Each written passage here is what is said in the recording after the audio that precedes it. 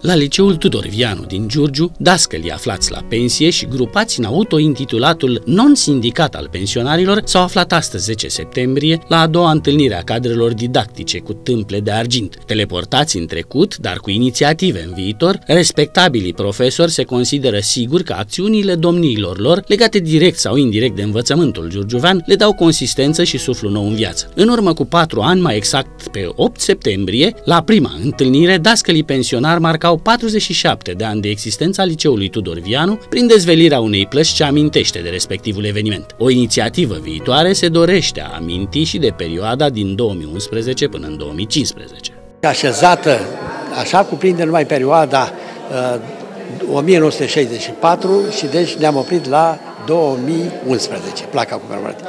Placa care urmează, deci inscripție în granit pe un soclu pe un soclu, va cuprinde deci, și perioada de după 2011, deci 2015 sau 2016. Tot istoria școlii giurgiuvene a stat la baza lucrării Jurnalul Liceului Tudor Vianu, retrospectivă, o monografie a unității școlare scrisă de profesorul Ion Radu, carte acordată astăzi de autor profesorilor ce n-au intrat în posesia acesteia, dar au fost prezenți la eveniment. Această lucrare, pe care o consider mai complexă și mai Uh, bine documentată, uh, cuprinde perioada 1964-2014.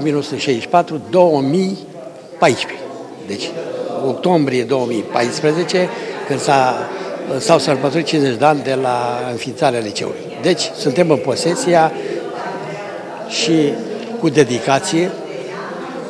Deci, da? Cei prezenți la acțiunea de astăzi au constituit grupul de dascăle ai școlii medii numărul 2 și liceului economic, ai liceului industrial numărul 2 sau ai liceului teoretic, Tudor Vianu, așa după cum actuala clădire a găzduit unitățile școlare menționate începând din 1964 și până în 2015. Cadrul didactic al primei generații, cea din 1964, Virginia Manea își amintește. Am avut un colectiv minunat în care ne-am simțit ca frații, și directori am avut oameni deosebit de competenți. Dintre aceștia aș remarca pe domn profesor Radu, de o inteligență sclipitoare și am avut colegi minunați.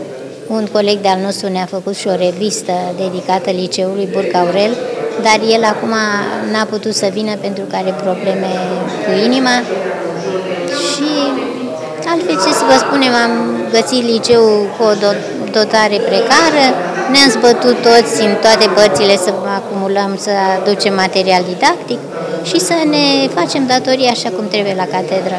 Teleportați în trecut, dar și în viitor, dascălii pensionari se vor reîntâlni și peste patru ani, însă astăzi, înainte de despărțire, nu s-a trecut peste un moment plin de emoție, atribuirea de diplome de excelență inimoșilor profesori pensionari.